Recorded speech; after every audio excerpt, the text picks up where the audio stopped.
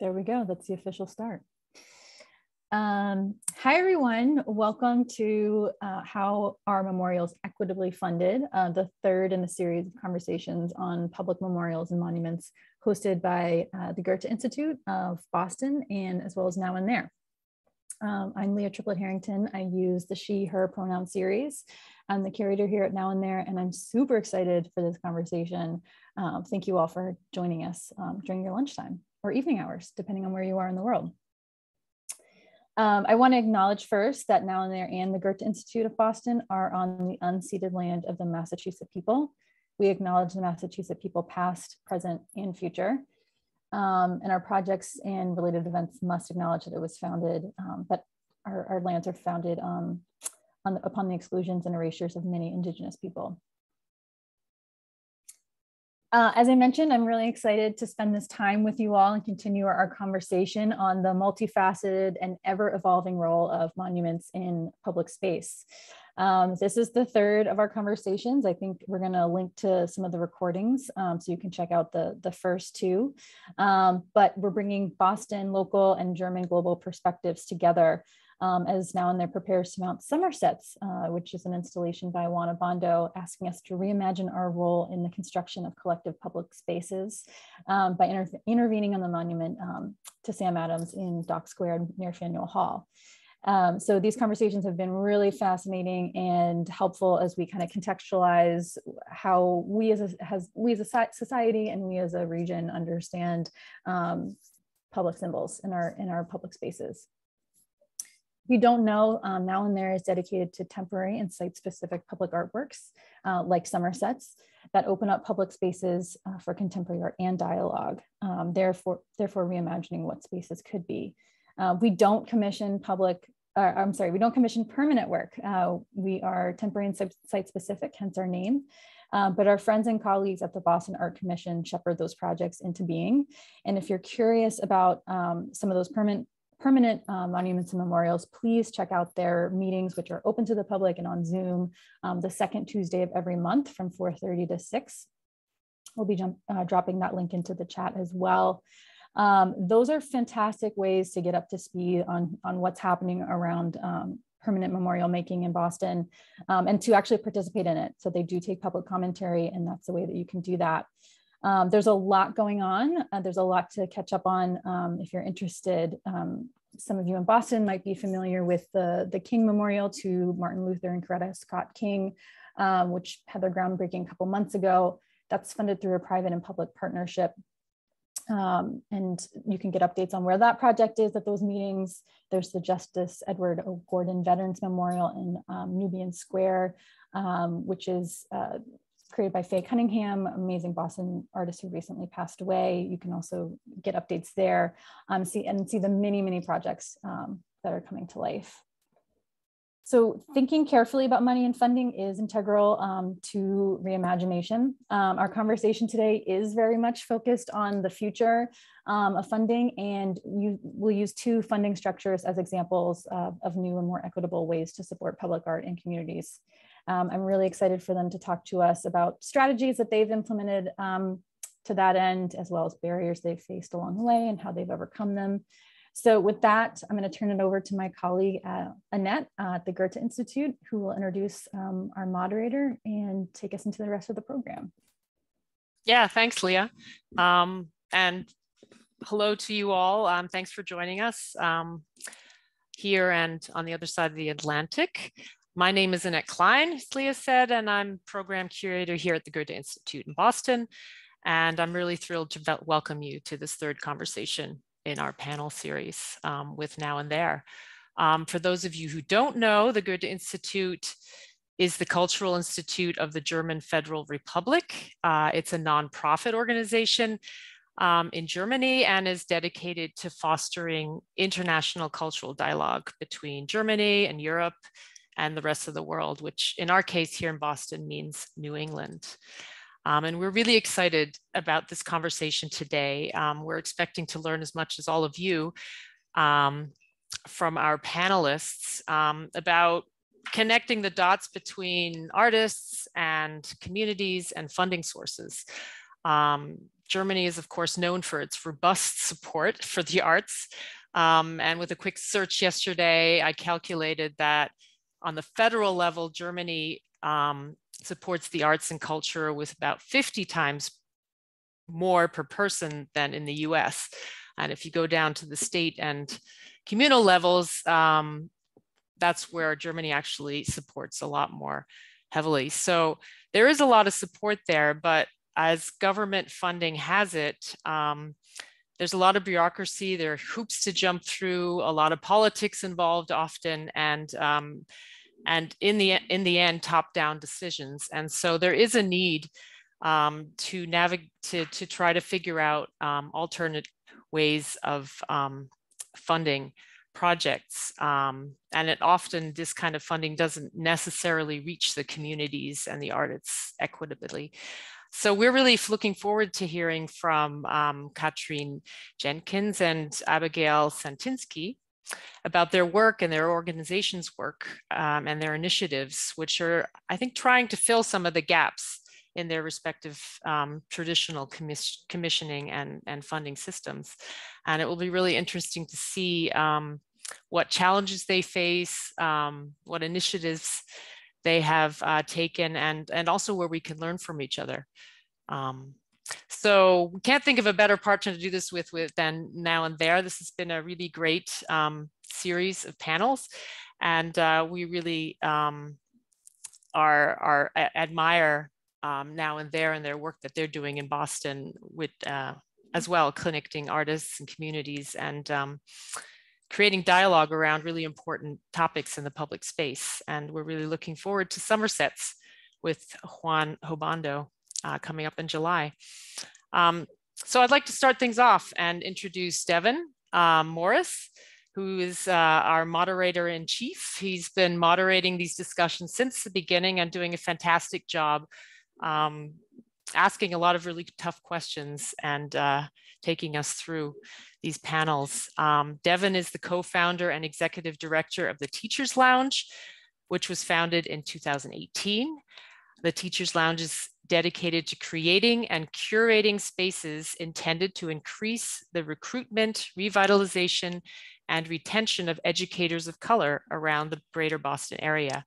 Uh, Devin is uh, clearly very passionate about community engagement, equity, uh, education, and has used this passion to um, work with schools and uh, around Boston and New York City as a teacher and mentor, and uh, is also sitting on several local and national coalitions supporting the diversification of the teacher workforce.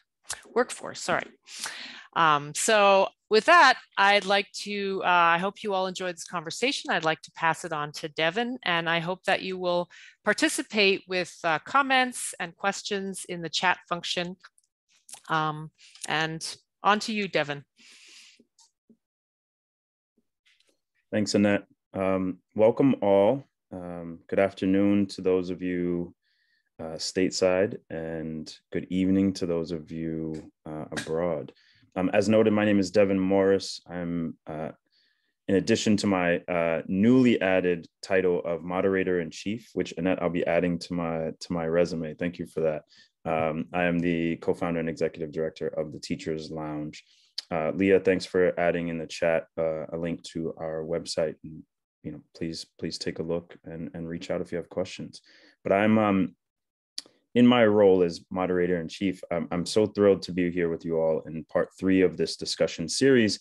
Um, so thanks to those who have joined for our previous conversations. Um, thank you to the Goethe Institute and the Now and There team for having me back. Um, and before we dive in today, I just thought it was important to do a quick look back at where we've been. And so we've been, uh, explored some incredible topics in the past two sessions to cover in session one, what makes a monument? As an exploration of uh, moments, movements, and monuments. And in session two, we asked the question of what role do artists play in reimagining the construction of our public spaces? Um, and this was an exploration of how artists can intervene with monuments and create new modes of commemoration and community. And a common theme that surfaced in both of those discussions was about as we see a call for new monuments and memorials, um, and more democratic and inclusive design processes, how are we also seeing funding structures shifting to make the vision for these new spaces into a reality? And so we're really excited to dive into this topic and more in today's discussion, discussion with our two incredible guests with us today, Catherine and Abigail. And so, Abby, I'm going to kick things off with you. And so, first of all, thank you for for being here with us. Um, and I was hoping you could start us off by just telling us a little bit about yourself and your work with Tufts Art Galleries and Collective Futures uh, Collective Futures Fund.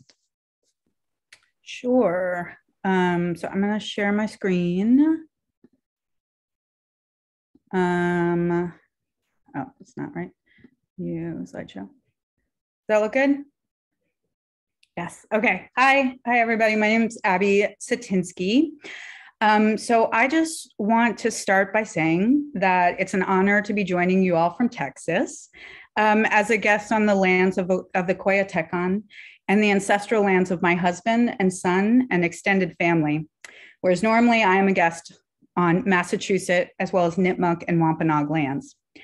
I am grateful to our hosts for their caretaking of these lands since time immemorial and recognize that my presence there is part of a settler colonial legacy that also includes the university and surrounding institutions.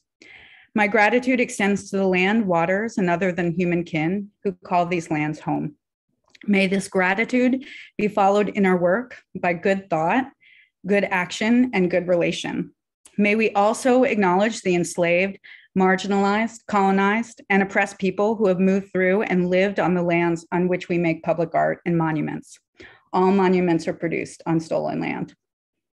So, um, so I'm here in my role as the program director um, for the Collective Futures Fund. Um, I'm also the curator and head of public engagement for the Tufts University Art Galleries. And I just wanted to start off um, by giving some thoughts on like some things I'm working through right now um, in my role as a funder. And then I'll explain a little bit about the Collective Futures Fund and what we do. So, the first tenant that I've been thinking about is that the redistribution of resources for a more equitable and just world is a creative process. Um, redistribution of resources should be the goal, and that by being creative, we're also being responsive to how artist practices are evolving and need to evolve to meet our changing social conditions. The second is that everyone deserves to see themselves represented in public space.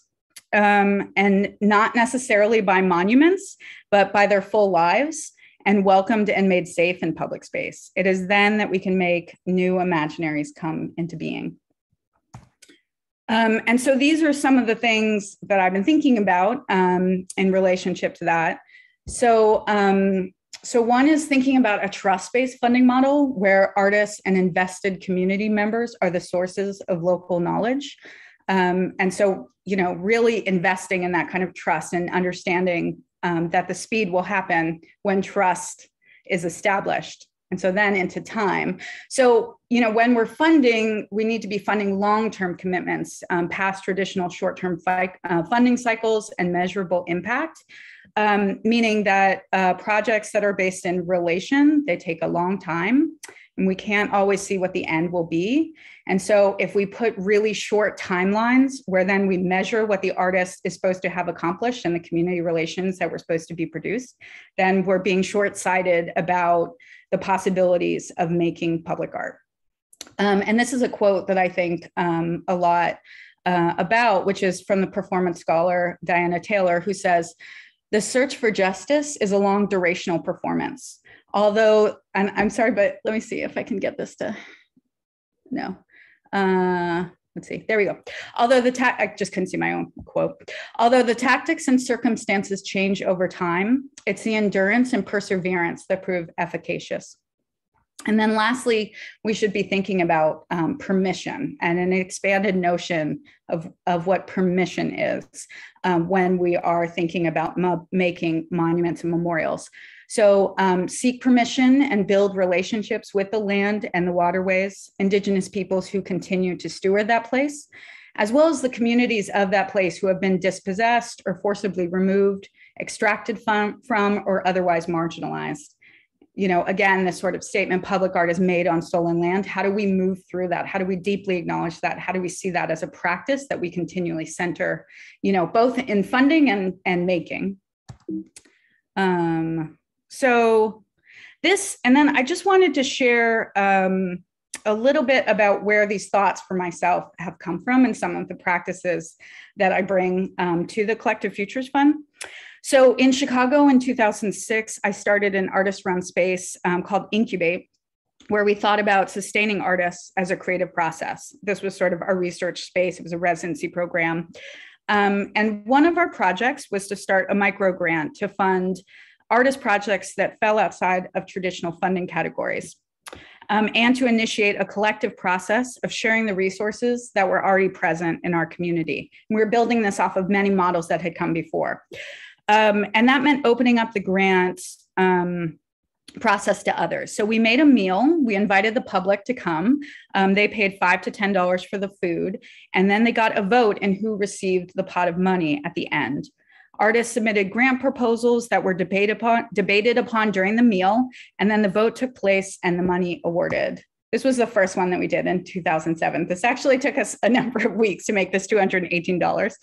Um, so and then what was interesting about this project um, you know this is in 2007 so this is before kickstarter or you know kind of the crowdsource fundraising that we think about today is that a lot of other people took this up independently from us and turned it into their own project um, and it created this incredible network. So these are some of the um, funding dinners that happen in different places. On the top is Providence Provisions.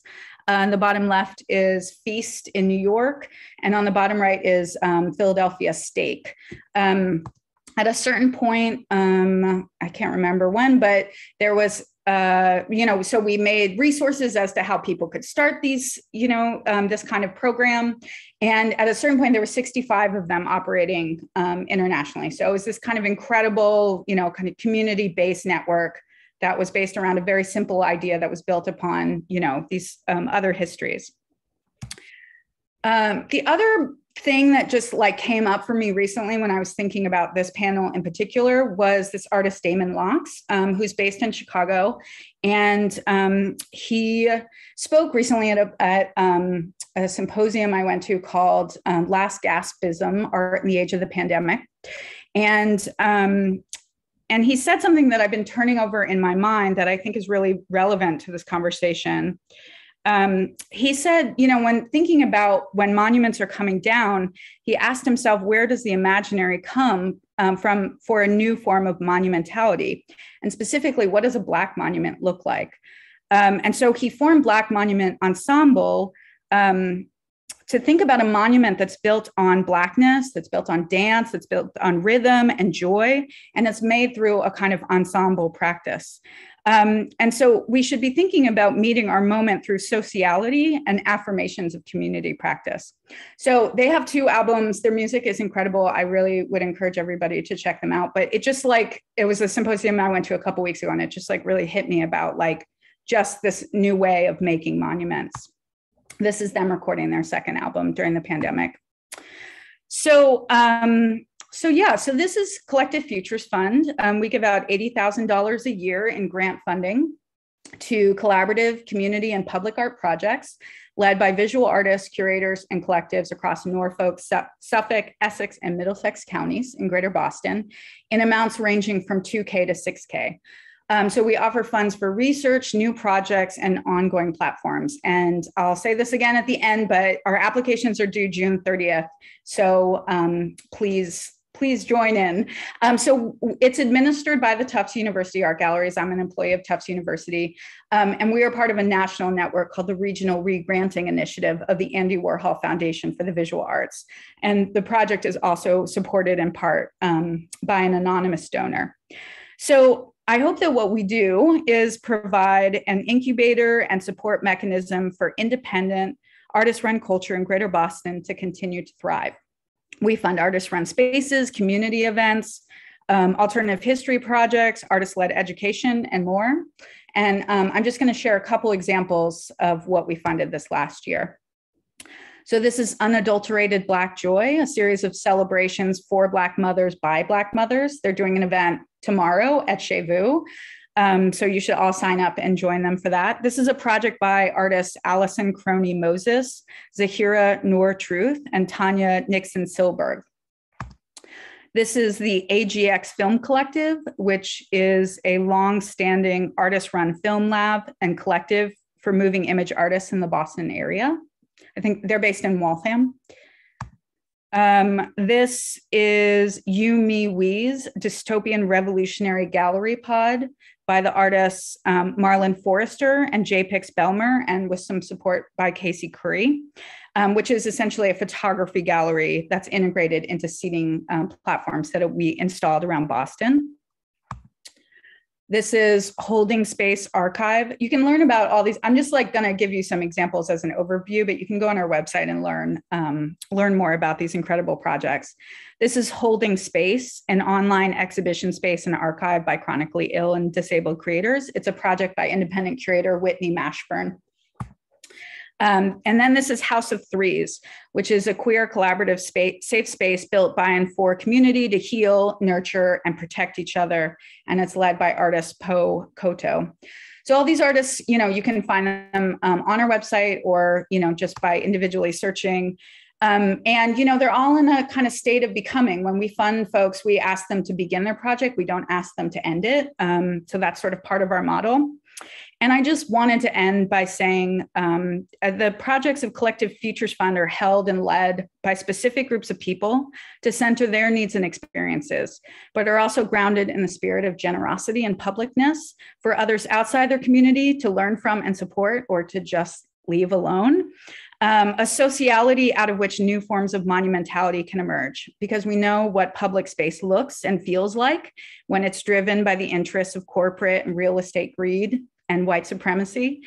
And it is not serving any of us in the social emergency that we're living in. So thank you. There's also an info session tomorrow at 6 p.m. So um, please check out our website. And thank you so much for having me. Abby, thank you so much. Um, that was, I, I, really appreciated hearing the um, sort of grassroots history of how you came into the work personally, but then how it's evolved into sort of what you are um, so passionate about now and how the evolution into like before we even talk about this evolution of into more traditional philanthropic dollars sort of funding initiatives that there was a community first um, that that got sort of local artists off the ground and, and got them sort of what they needed from $218 now to $2,000 and $6,000 increments is, is a really great, great journey. Thank you for sharing that. Um, and I'm looking forward to coming back to this topic in a bit as it, as it ties into um, what Catherine will be talking about and then the, the, the, the theme overall. Um, so Catherine, let's, let's, let's turn things over to you. Thank you for being here um, today and would love to hear about a little bit about you and about your work with with new patrons. Yeah. Oh, thank sorry, you. Catherine. One thing. Sorry, sorry, sorry, sorry. I just want to make this this note to everyone. Um, one, so I'm so it's not just uh, me, Kenny, and Leah in the chat. Um, I'm a, a former school teacher. I, I operate very much on uh, sort of call and response, and so um, I just wanted to say, Abby, you, you dropped a couple of gems that gems that resonated with me. And so if you see me popping something in the in the chat, it's just something that I want to hold on to that someone has said. And so you you all should make use of the chat as well, um, our, our uh, guests. If there's something that resonates with you, if there's something that you hear that you want to come back to, please make use of the chat um, in that in that way. Okay. Sorry to interrupt, Kat, Katani. I'm going to turn it over to you. Yeah, thank you very much for inviting me to be part of this wonderful panel series. Um, I'm uh, so happy to have the opportunity to yeah present uh, um, our initiative, our network, and uh, also yeah start an exchange about the possibility to fund these kind of uh, uh, new monuments or uh, monuments that are maybe um, yeah, not these kind of classical monuments we are thinking about. Um, I would also like to uh, show an example. So I'm sharing my screen. Um, just a second.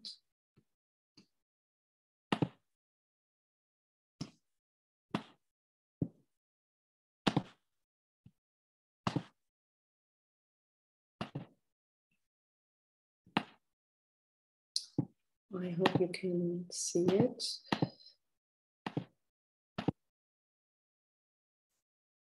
I hope you can uh, see the screen, the presentation.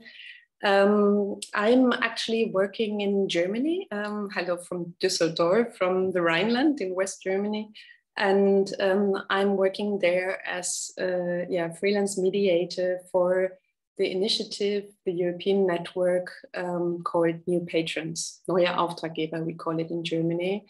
And um, yeah, I would uh, maybe um, firstly like to explain the way we are working because I found it very interesting uh, what uh, you just described, Abby, about these three different aspects of funding, because this is something that we are also in our process based work very much uh, thinking and working with. And uh, therefore, I really also would like to first uh, shortly describe our methodology of working and then show an example and how we try to find the money for these type of projects. Um, yeah, um, the idea of new patrons actually is to enable civic groups to commission public works on their own initiative, accompanied by professional cultural mediators like uh, like I'm working as a mediator. So um, of course, artists have always worked on commissions, but commissions are mostly connected to juries and the privilege of affording the work of art. And the idea of um, the bottom up initiative, New Patrons, actually is to empower people to become commissioners and to give their concerns a voice and a form.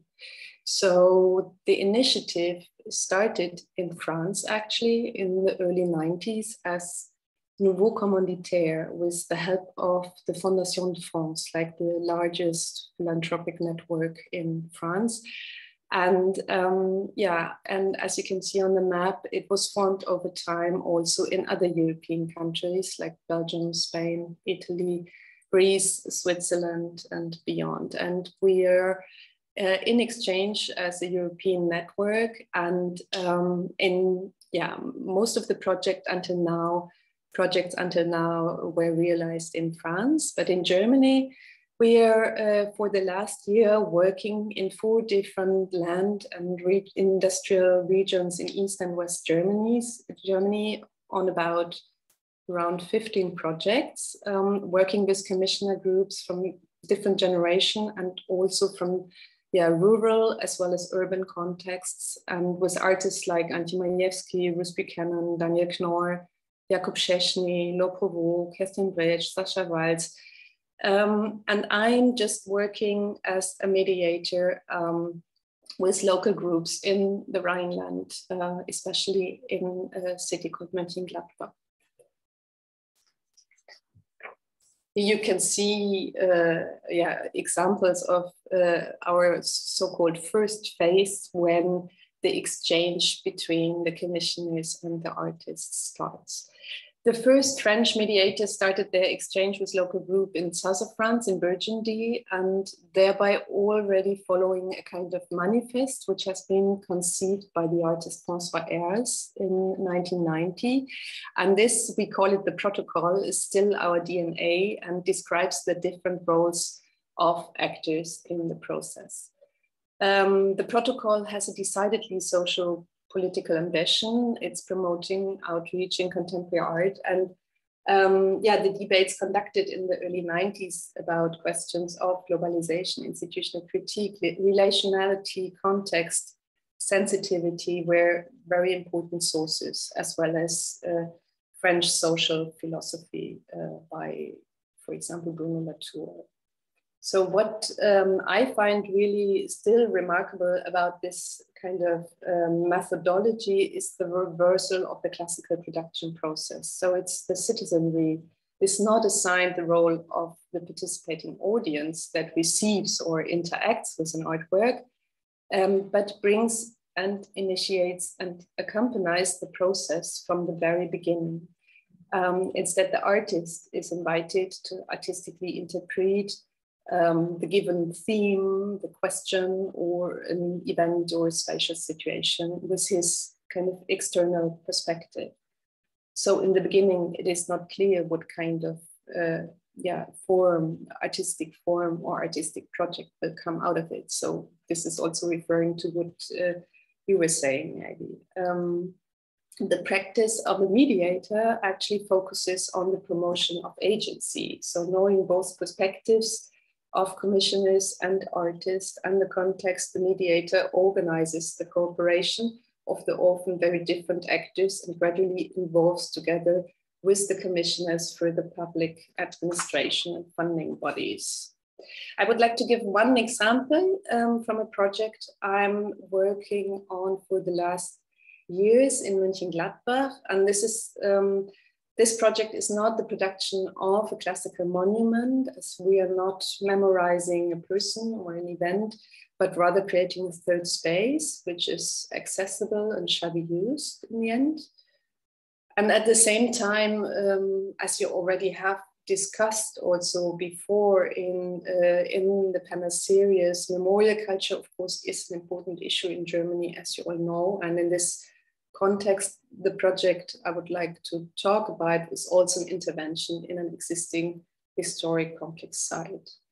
Um, the city of Mönchengladbach uh, has about 260,000 inhabitants and lies close to the Dutch border um, the city, uh, city's industrial ascent was mainly influenced by the development of the textile industry from the mid 19th century to the mid 20th century. And after the Second World War, a major structural change began, reducing the importance of the textile industry and establishing new economic and educational sectors.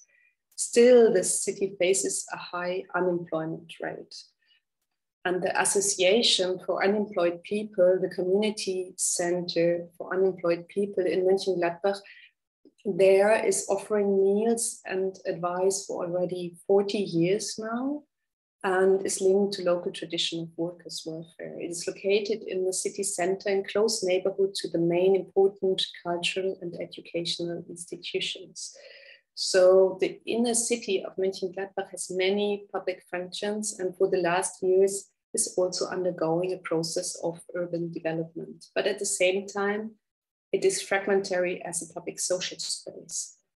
The community center is, as you see, housed in a building from the 30s, which has been the former home of the Hitler Youth. So it is a dense and historically complex site with a particular history called up by the fascist architecture, as well as the dramatic industrial um, work history of the city. The community center has approached new patrons in 2018 with the search for an exchange about ideas on how bridges can be built between the different audience of the institution's and inhabitants.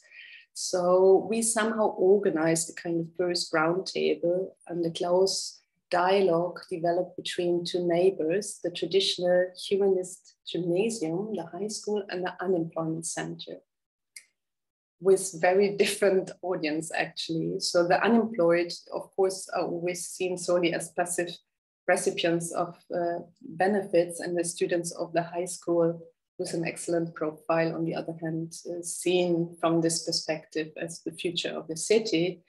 But of course, they hardly um, uh, meet, uh, although they're neighbors. So how they can learn from different perspectives became the initial question actually of our dialogue. And the commissioner group then started to be scholars of the school and visitors of uh, the unemployment center and their teams. Um, as you can see, the unemployment center has this large garden directly adjacent to the inner city park and the students of the high school and the users of the unemployment center decided that they want to heighten awareness of the social city context with using and hosting the garden in cooperation and opening it up to the city actually. Um, here you can see um, this type of commission that we are always formulating together with the commissioners as a kind of first uh, public statement also. And um, I then proposed uh, the Berlin based New Zealander Ruth Buchanan um, to work together with um, the group. So um, we are not working with a competition here. but uh, we invited her to come to Mönchengladbach and she, uh, in her work, she investigates how architecture and space affect the body, movement, interaction, and self-perception, and examines power structures underlying spatial encounters. So this was somehow um, the reason why we invited her, and Ruth Buchanan immediately um, understood after talking to the group that it was all about relationships, relationships between our physical bodies, our place of dwelling, our place of work, uh, our sense of value in society. So she wanted to highlight highlight these relationship. And what we or what she actually proposed was a kind of twofold design, which started with um, garden film dance workshops in order to develop relationships and exchange.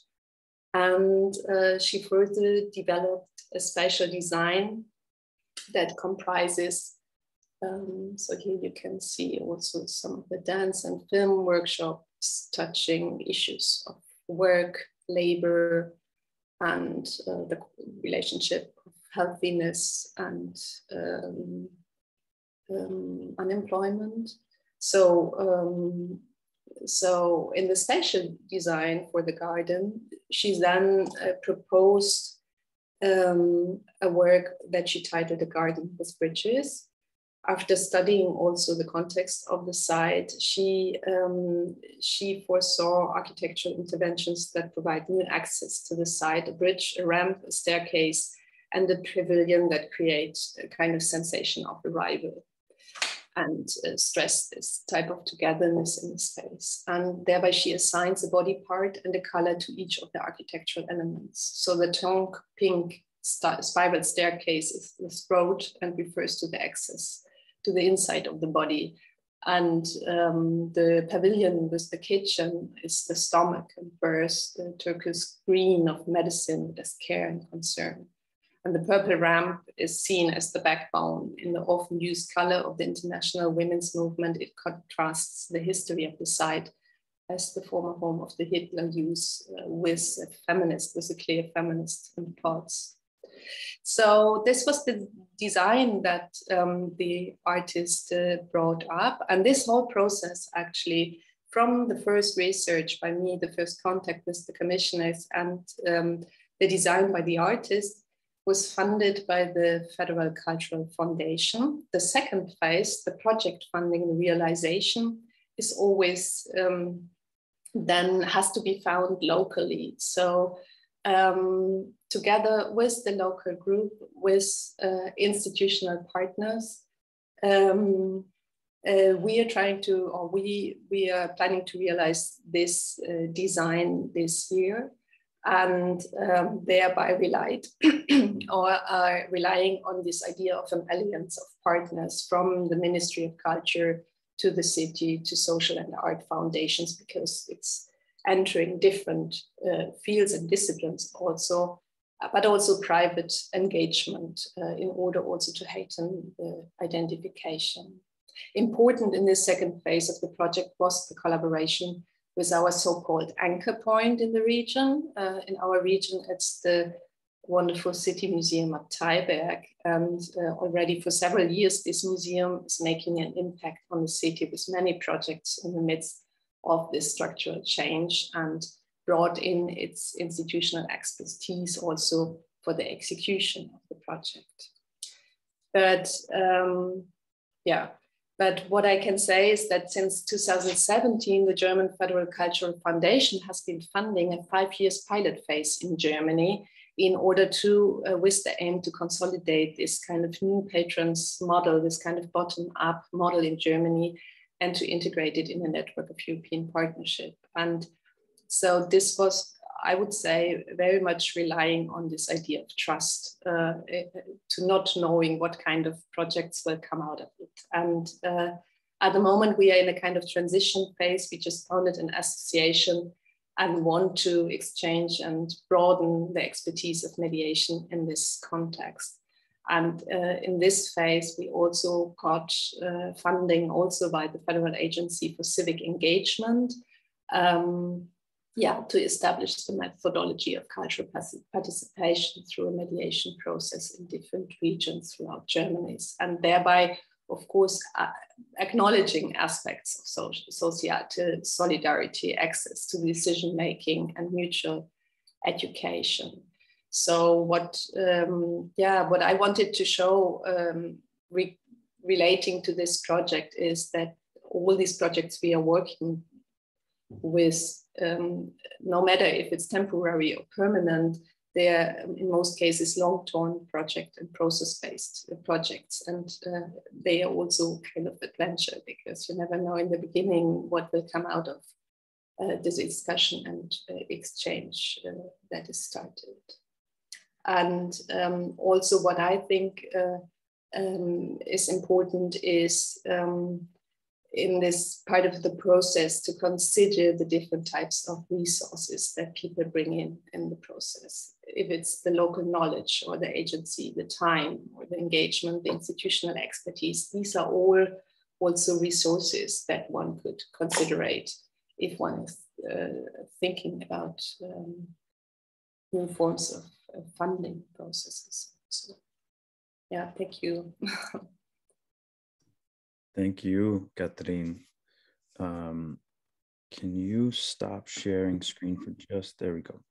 So there's um, a lot to unpack here um, and lots of connections to the work that that Abby is doing and, and, and has mentioned this, this concept of uh, reimagining spaces, um, the importance of stakeholder engagement and partnership and agency, uh, the importance in that process of, of relationships uh, being developed and making that vision into a reality.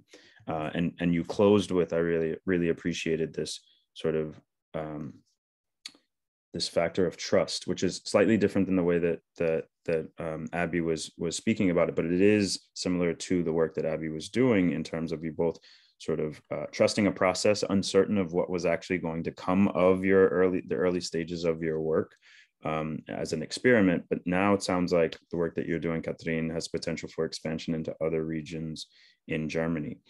Um, and so it's all really exciting. I'm going to break protocol just for a second here. Um, I know we said we were going to go into questions, but I do have a follow up question for you that um, that that was not one of our sort of posed questions. But you mentioned this this protocol, um, which you know uh, one of the factors talks about mediators establishing the connections between the work and the public as as like and i know it was excerpts but um, and then you also mentioned the commission as a like that public statements which i think is a really great example of transparency in the work that you all are doing can you just speak to how, how are those developed sort of how, did you come to the decision that those were going to be a part of your process um, and and and sort of how you determined that um, that these were necessary?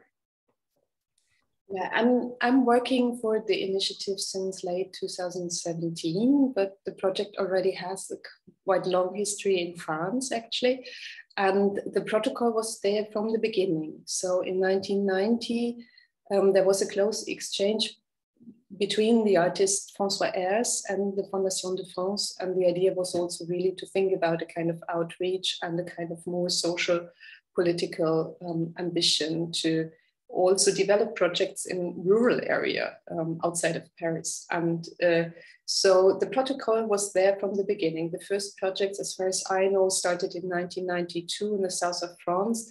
And from the beginning, François try, tried to somehow formulate the way the different actors in the process would collaborate and how this kind of initiation process could be developed. And, um, and I also think that this idea of this common formulation of the commission is something that is practiced uh, widely throughout all the projects. And in Germany, we, we have done it for all the projects. And it's also, um, uh, as far as I learned, an interesting moment also to become conscious about the ambitions and to also formulate the ideas uh, or the questions that come up uh, for uh, the later discussion with the artist uh, who then comes in or the wider public also. Yeah.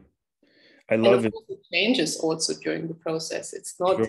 that this is like a given a given task that always sure. stays.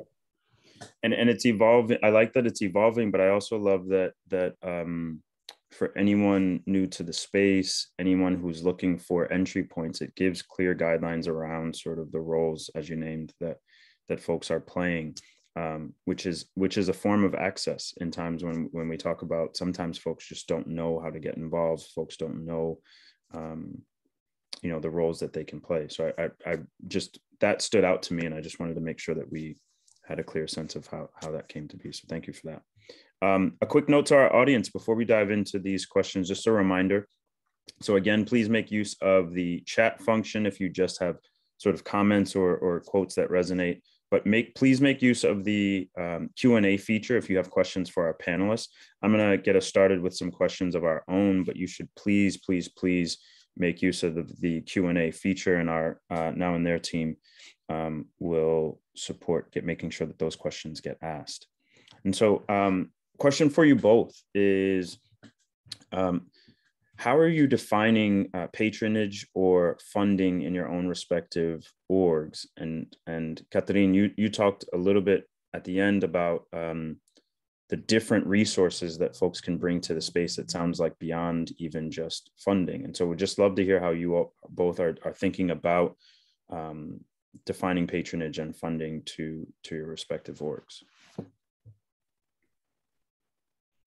Um, I can start, I guess. Um, yeah, I mean, in in a certain way, you know, we're like a project that is based on sort of a national funding model um, that is, you know, basically the Warhol Foundation partners with independent or you know local arts organizations as the kind of you know in some ways like a center of knowledge that then connects outward and then we redistribute um, this funding. And so, you know, we do think about it pretty much in those traditional ways in the sense that, you know, we're sort of getting this money out to our communities in the most equitable way that we see fit. And so we worked with them to um, to think about how we could you know make this fit a Boston community in certain ways, and that was that we changed it into two tiers. Um, that one would be for new projects, and one would be um, for ongoing projects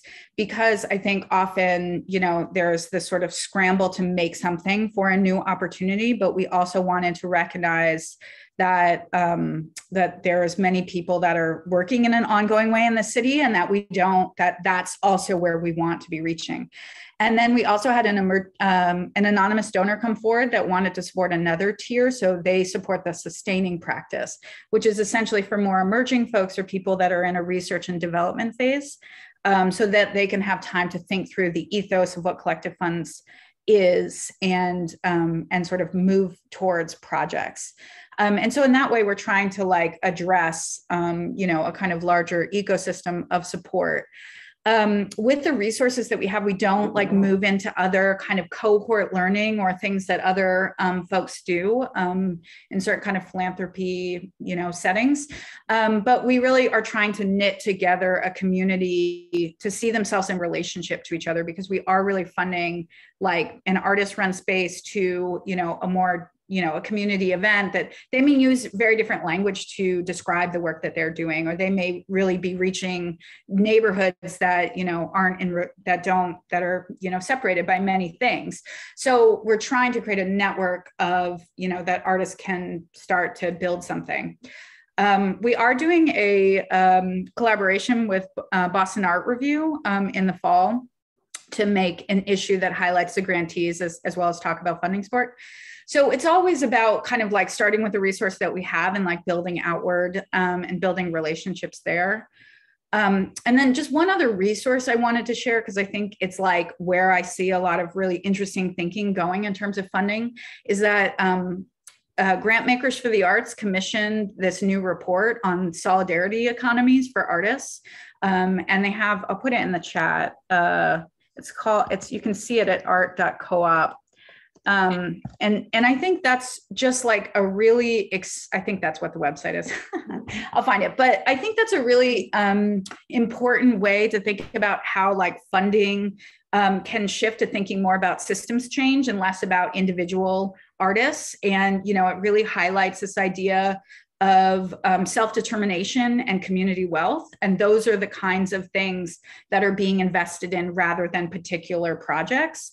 Um, and so, and it highlights, among other things, the incredible work of Ujima Fund, who's based in Boston, you know, which is the first democratically managed investment fund in the country. It's led by BIPOC folks and um, working class folks to, you know, do non-extractive loans. It's like their thinking is so incredible. So, you know, I think we have the resources that we have at the, you know, Collective Futures Fund, and we're really always trying to imagine otherwise and imagine how artists are needing to be supported. And then we have incredible models that are here that are doing this work that we can, you know, build relationships to for the artists that we're working with that they can you know that we can learn from them and that you know and that we can hopefully do the connecting that you know is possible. Thanks abby. Um, i want to hear more about the solidarity economies um, but i like this concept of systems change in addition to supporting local and individual artists um, i want to come back to that as we talk about sort of how we're seeing things evolve um, in a bit um, but uh, Kathrin, um, anything to add there? Yeah, in, in our case, the new patrons are not the persons who are bringing in the money, but the ideas, the questions, the um, the local expertise um, or urgencies, and are um, in most of the cases not coming out of the art field, but the artist is then stepping in later in the process. So um, it's very interesting to hear about this idea also to commonly decide on the spread of uh, uh, funds um, as uh, also in our case it's it's like a big uh, collaborative process. And also it's of course uh, relying on the idea that the artist is also part of this uh, process and reflecting and yeah going together with this idea. So in our projects, we are also noticing that we are not um, in the realization of the projects are not only looking for funds in the field of art, but also in different fields where these questions of solidarity and uh, the questions that you can find in rural areas, for example, uh, like about community engagement, are very important. Yeah, yeah. Thank you for that. This this concept of sort of building out ecosystems um, that that um, you know that when when we talk about uh, monuments, when we talk about um, spaces that are impacting individual um, uh, areas, they're impacting communities, and that that that means that that work spans beyond art um, itself. And, and, and so the concept of creating uh, ecosystems that span across different sectors, um, but also sort of um, thinking about systems change, I think is something that we're seeing a little bit more of, but would love to see more of. Um, and so if you all, if you both could sort of speak to how you've seen the funding landscape evolve, if at all, um, but changing over the past few years, would love to hear your take and um, there as well. Mm-hmm. Yeah, I think you know it was very instructive, or is very um, you know changed me in a lot of ways to get the opportunity to um, to within the galleries to make collective futures fund happen starting in a pandemic um, and you know really thinking about the shifting terrain of what artists and communities need when we live in like a heightened state of uh, duress. And um, and so the first thing that we did um, through the Warhol Foundation, they funded this, was to give us um, sixty thousand dollars to redistribute um, to Boston, Greater Boston artists um, in a lottery system with stated need. So anybody that said that they needed it um, could apply, and then we gave fifteen hundred dollar grants out. Um, the other thing is, you know, I used to work on a similar program in Chicago called the Propeller Fund. And I think 10, 15 years ago, like $6,000 was a meaningful impact um, and for a project. And now it's clear that $6,000 is just one small part of what is needed to produce this kind of work. And so I think really thinking through just like acknowledging that, just like really understanding that. Um, and, you know, when we started, I had a lot of other conversations with, you know, funders in the area, um, particularly one conversation I had with NEFA, with Kamaria Carrington and Kim Seto, where they were talking about how, like, during this time period, it is important for artists to have um, you know something that sustains their life. So then they can then make new projects. And so it and and a lot of artists also are talking about um, how they don't want to compete with each other, how that's not the kinds of um, you know systems that they want to participate in anymore, and that some people are taking themselves out of those processes because they don't they want to give to others, and so you're seeing this like incredible generosity and incredible need. Um, and I I don't necessarily have an answer for that, but I do feel like you know I I want I want to be part of that conversation and I want funding to be part of that conversation. And I think that's like where also, you know, this kind of idea of the solidarity economy, which is like a global movement of like, you know, kind of new economic thinking, you know, which is based on this idea of like mutual aid networks and cooperative governance and you know what is what kind of infrastructures should we be supporting so that you know there is wealth and disinvested communities like that like how do we you know think not about like support individuals but support individuals within a context? So yeah i don't i don't know but i see that like this sort of generosity and need is like this you know is so is so rich. And in in it we need to you know kind of all step into that. Um so i think that's that's a little bit where i'm at. Yeah and this um I want to come back and hear you speak a little bit more about sort of you all entering into the space of trust-based funding and how mm-hmm. even that's an evolution of of late. But the the concept that you named um, around you know what we call scarcity mindset, this idea that we're going to we're we're all competing for limited dollars, is actually um, oftentimes rooted in with re- regard to our personal relationship with money um, and then how how we go about asking for it thinking that whether or not we are worthy of of receiving it. And that evolution that you named of of going from $6000 being a substantial grant to realizing that you that there's only so much that you can do with $6000 as as a part of bigger projects and and work. But this idea that artists are not looking to compete with each other um, it, it speaks to and i'm going to come to you in a second kathleen to how you named how you know dollars aren't the only things that we can contribute to artists, to spaces, um, when we talk about resources. Um, and I, what I've what I have seen in the philanthropic space on on, on the nonprofit side is um, this concept of even bringing organizations, or in your cases, artists together, right? Even if they are seeking funding, but that community, cultivating community amongst the artists, um, amongst other community resources and organizations can change the landscape in and of itself. And it may spark the next project, the next monument, um, even if the dollars are not the thing that are being contributed in that space. And so, Kathleen, anything to, to add there? But I, I, I think I did hear you saying how even beyond the dollars, that there are ways in which folks are, are coming together to do this work that then you know provide resources, opportunities to artists and spaces and communities?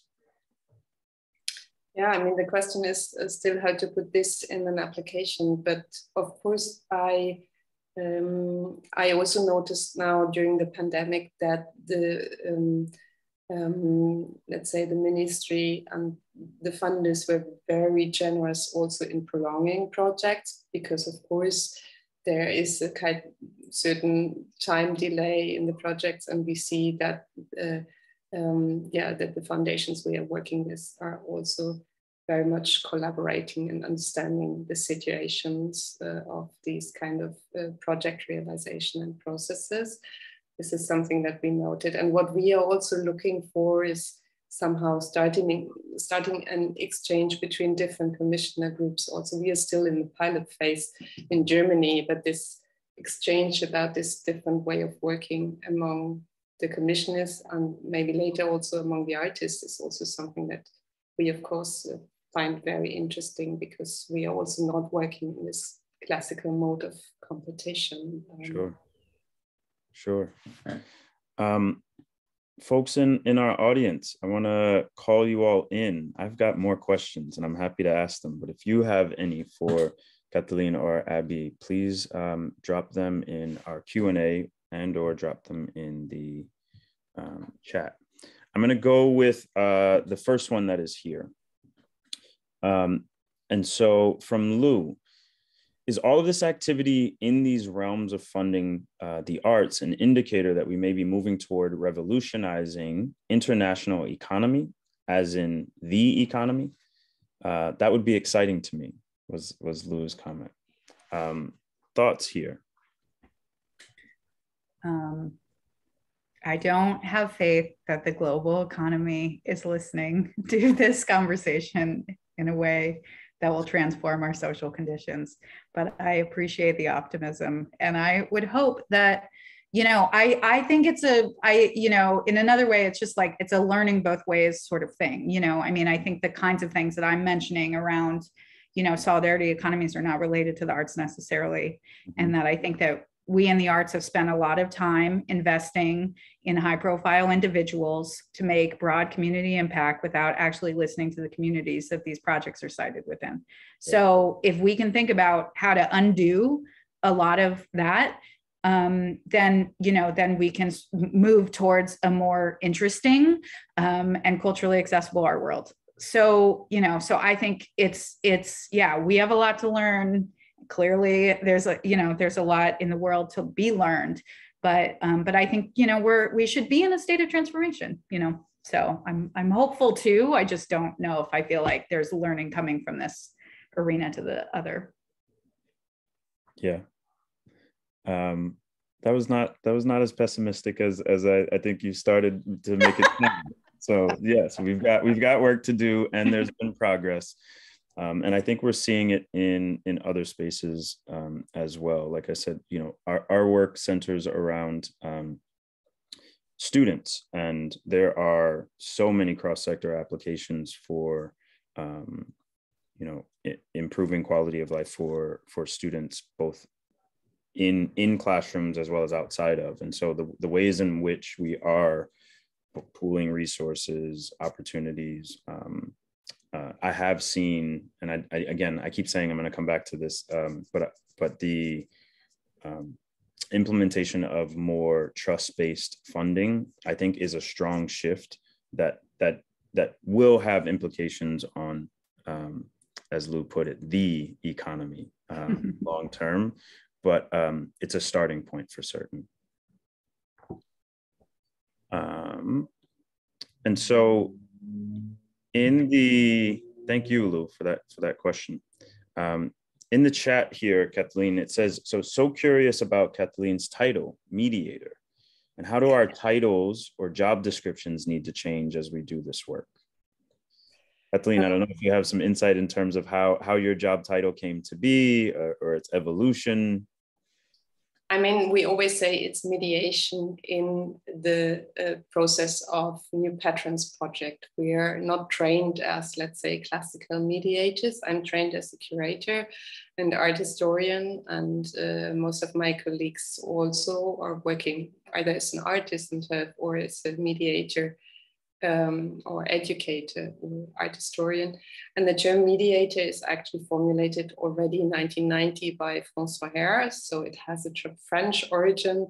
And the idea is actually that one is um, uh, communicating between these different uh, different perspectives of the commissioners and the artists, and then later also the wider public. So it's this um, kind of yeah organizing, organizing these uh, um, encounters and uh, knowing both perspectives, but then mediation in the context of the program of the patrons.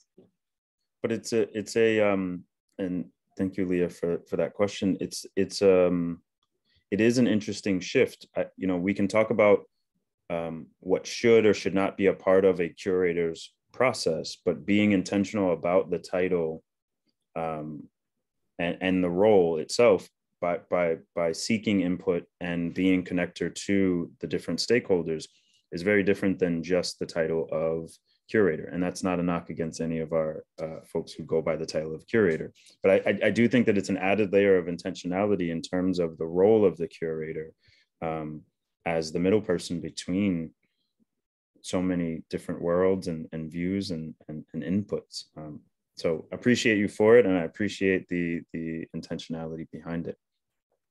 Uh, i'm going to sort of circle back. Folks should feel free to add additional questions. Um, but coming back to this question about um, sort of trust-based funding, um, you know, my question to to to both of you is sort of, you know, what questions are you asking before you commit resources to a given project? Sort of, you know, you could call it evaluation tools, you could call it, but but how how do you sort of um, gather from um, call it applicants um, perspective, mm-hmm. artists, um, you know, how you're making these determinations that that you are going to move forward on a project mm-hmm. Yeah i mean i think in our application process um, when people apply for a grant you know the kind of criteria questions that we have that are also on the website for folks that are interested in, in applying is you know how how is this project um, thinking about experimentation uh, within the discipline um, that it's working in? Um, how what is the kind of stated impact on their community and how is that you know being represented um, via images. Is there and you know um, an intentional approach to engagement um, to publics uh, that the project is putting forward? Um, and yeah i mean that's you know those are those are some of the questions that we ask. And then you know on our jury we have folks that are um, this year, uh, because we're in our second year of project funding, we have someone who is a previous grantee, so someone who's been through the experience, somebody who's one of the funders in the regional regranting initiative elsewhere, and then um, two folks that are artists and curators. So, you know, I think it's like trying to bring forward some kind of like intersectional set of, ju- of jurors every year um, to really think through those questions from their perspectives in different ways um, creates that kind of trust. But yeah and so so i think that we're really looking for how is this not an individual studio practice? How is collaboration at the core of this? And then are is there some you know kind of perspective that you know needs to be seen? And then you know with with those questions being answered then then those those selected projects move forward. And then i think you know in terms of trust like we again maybe it goes back to the idea that we're you know not it's not major impact funding. It's really about you know kind of like getting something moving forward um, but we really yeah don't ask at the end for that kind of you know impact statement. Um, but we really we want to be brought along on the process with artists so that we can learn from them not so that we can make them involved in our bureaucracies that are demanded through our institutions and our funding models. So you know it's uh, to me it's really about like we they have something to teach us mm-hmm. and and and then we have to support them in that process and not that we are like you know funding with the intention that we're going to tell them how to make public art we're going to tell them how to work in their communities um, and you know like we we're i'm you know i'm coming from the university i'm coming from the institution like you know the forms are changing and i you know that's that's something that i need to be open to that i need to create a set of conditions to be open to um, and so one of the things we're working through is we're going to try and form a community council to kind of help us with all of those things, like an advisory group, because uh, you know we're at the university and we're like we are starting at not being accessible. We're starting at not being connected because of the barriers of higher education, not in particular because of us in particular. Um, so yeah, those are all the kinds of things that I'm trying to work through and sort of saying I'm in I'm into trust-based funding, you know, going into our second uh, round. Um, so yeah. That's great. Thanks, Abby. Kathrin.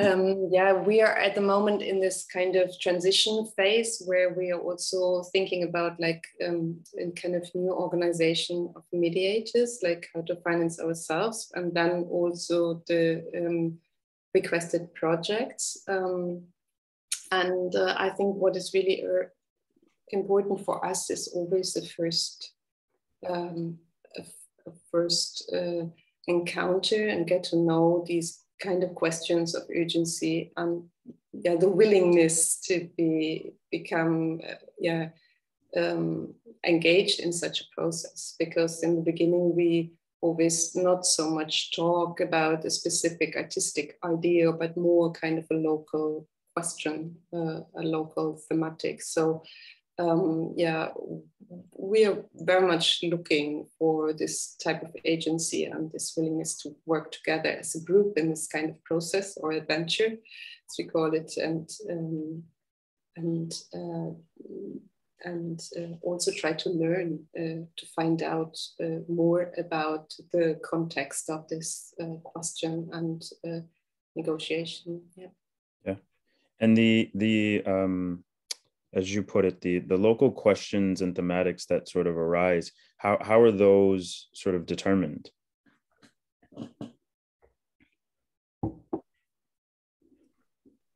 I mean, in the beginning, it's always a very small group of uh, persons that we are uh, working with, and it's it's uh, it, it, can be very very different questions. It can be the question of uh, how one want to how one wants to become uh, old in a rural area and how to think about this question. But it can also be a question related uh, uh, to uh, thinking about a situation of migration in germany and how to communicate these kind of futures one has and um, it's it's very much about this personal exchange and uh, finding out first uh, in why, in which context these kind of questions are formulated, and then from there a lot of discussions and uh, research starts usually. Excellent. And then as soon as the artists come in, it's of course a completely new perspective, and then the dialogue starts again. Sure, sure, sure, sure. Makes perfect sense. Um, well, if there are no further questions, I'm going to ask my final question of you all. It's two part, um, so bear with me.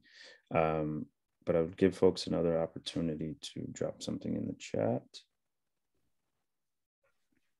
Just checking. Okay, great.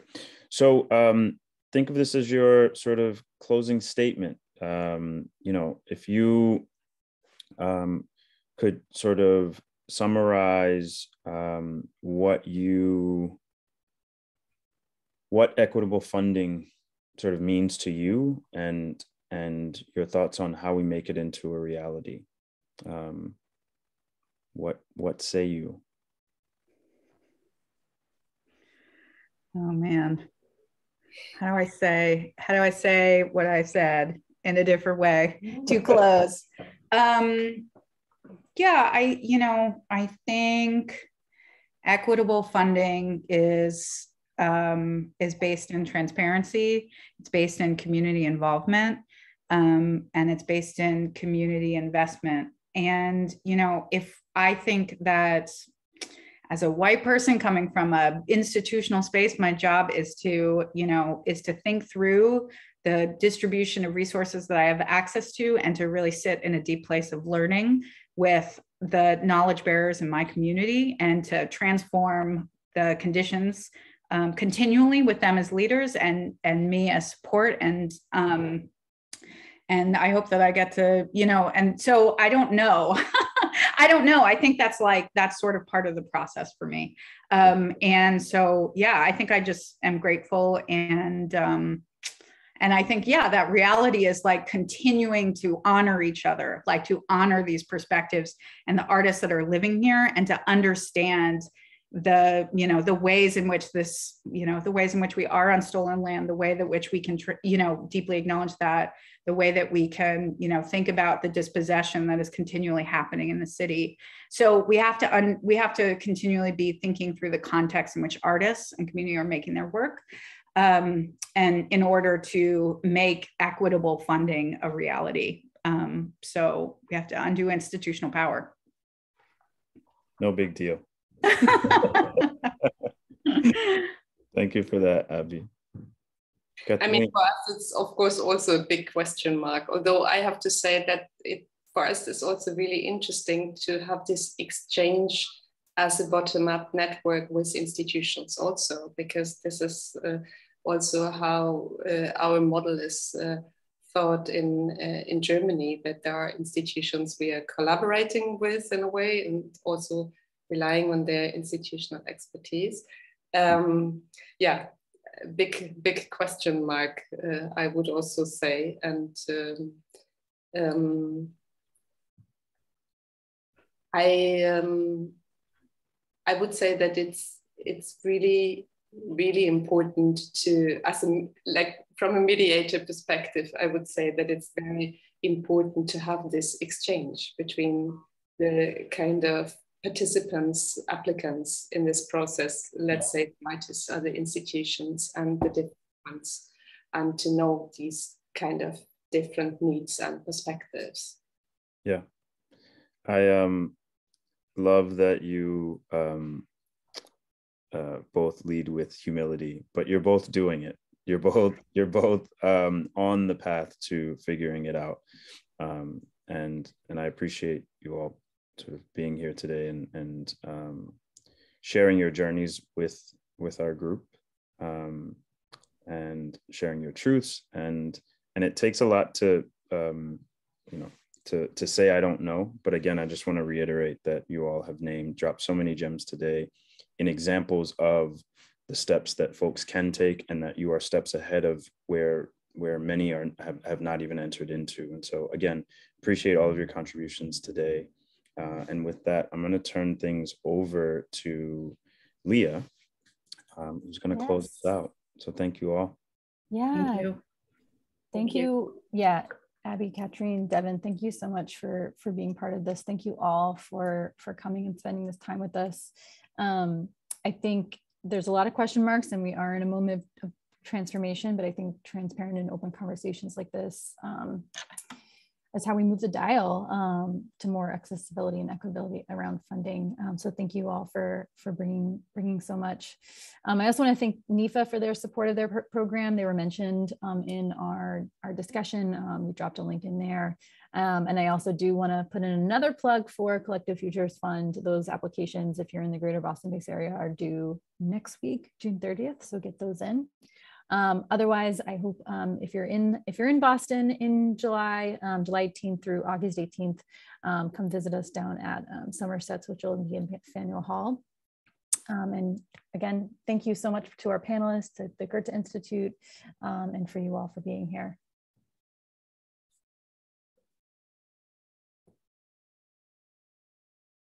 And have a good rest of your day.